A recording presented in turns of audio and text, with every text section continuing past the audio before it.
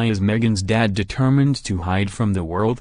How Thomas Markle, 73, has changed his phone number and concealed his address to avoid being traced. Vanishing without trace can't be easy in this all-seeing, information-driven age, particularly for a pivotal figure in the romance that has captured the world's imagination.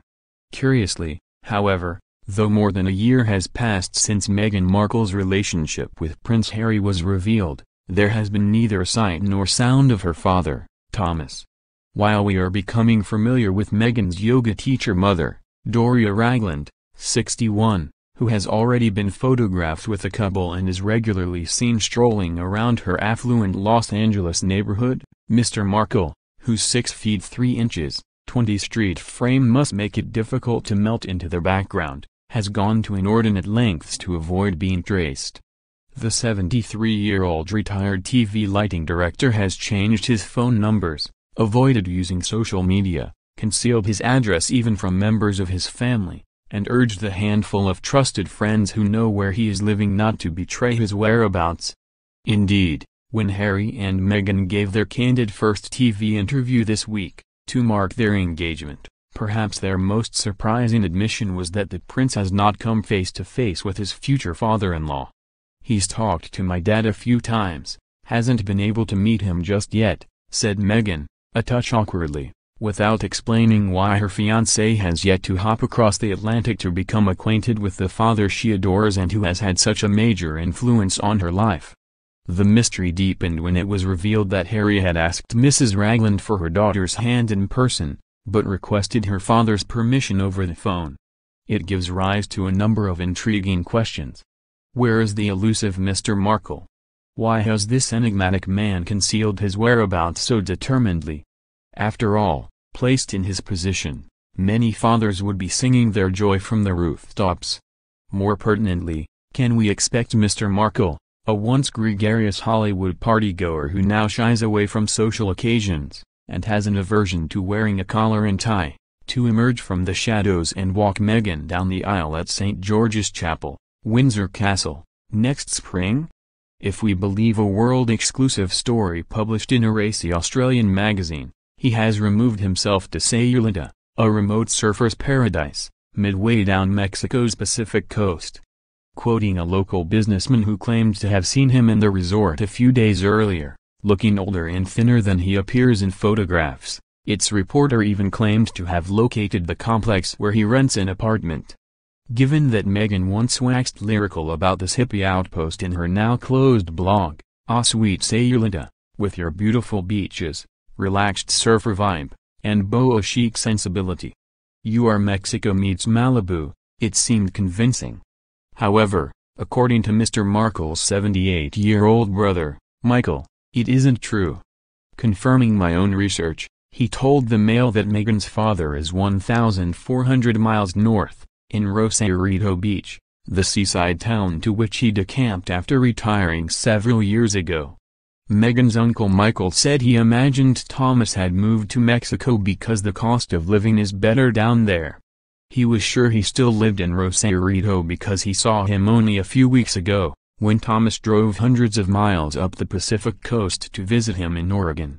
Giving his first interview, Michael, a retired U.S. diplomat, said he last spoke to his brother shortly before the engagement was announced. I think he's very pleased with the way things are going he said. Who wouldn't be? It has ensured the Markle name will go down in history. That's for sure, isn't it? Asked why Meghan's father was going to such lengths to avoid being found, he gave a reply that will doubtless please the suits at the palace. Tom is trying to comply with the royal directive to keep a low profile, so that's where he's coming from. He doesn't want to upset the royal family. We'll explore Thomas Markle's life in Mexican purdah shortly. To place his importance to Meghan in context, however, it is worth recalling the unbreakable bond they formed in her childhood. A bond Meghan movingly described in this Father's Day tribute, from her shut-down blog, I think of so many moments with my dad. Our club sandwich and fruit smoothie tradition post my tap in ballet class, classes, which by the way, he religiously took me to on Saturday mornings after working 75 plus hours a week as a lighting director. the fishing trips along the Kern River and Big Bear Lake to catch catfish or trout and cook it up for dinner, and the commitment he made to lighting my high school musicals so that they felt as grand as a Broadway show. The blood, sweat and tears this man, who came from so little in a small town in Pennsylvania, where Christmas stockings were filled with oranges, and dinners were potatoes and spam, invested in my future so that I could grow up and have so much. He helped me turn my bathroom into a dark room when I was 12 because I wanted to be a photographer. He put gas in my car when I went from audition to audition trying to make it as an actress. He is the person who believed in this grand dream of mine well before I could even see it as a possibility. He taught me to write thank you notes, to always arrive early, to drink Arnold Palmer's, a non-alcoholic cocktail of lemonade and iced tea popular in the U.S., to find my light when I'm on camera. And beyond. And that, right there, is my point, my dad taught me to find my light. So Mr. Markle was clearly a wonderful father to Meghan, or Bean as he affectionately called her, another pet name he used was Buckaroo, a Californian Spanish word for cowboy. Yet according to his first wife, Roslyn, who was married to him for seven years before he met Mrs. Ragland in the early 70s, he wasn't nearly so attentive to their children, Samantha, now 53, and Thomas Jr., 51. In those days, his career, and hectic showbiz social life, came first, she told me, adding, he wasn't a family person.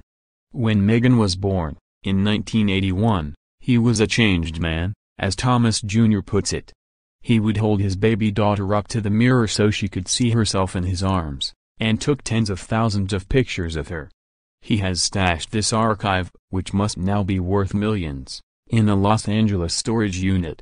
Though Meghan frequently alludes to her happy childhood, their closeness made her half-sister Samantha intensely jealous and created domestic friction, says Meghan's half-brother Thomas Jr.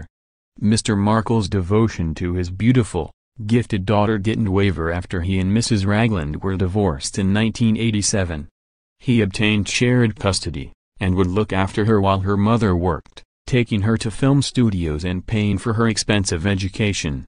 Meghan also credits her father for instilling a fierce work ethic in her, and for helping her to overcome early difficulties caused by her biracial ethnicity and learn to embrace her background. She also strongly resembles him and has inherited his distinctively upturned Markle nose. According to friends from those days, however, he was prone to bouts of melancholy, and when Meghan went away to university, in Illinois, he missed her so badly that his dark moods worsened. He filled the void by throwing himself into his work, for which he won acclaim and a string of awards. Mr. Markle must have been delighted when, after a brief spell as an intern at the U.S. Embassy in Argentina, Meghan returned to L.A. to begin an acting career, then, in her early 20s, settled down with Trevor Engelson, a hotshot producer who would become her first husband.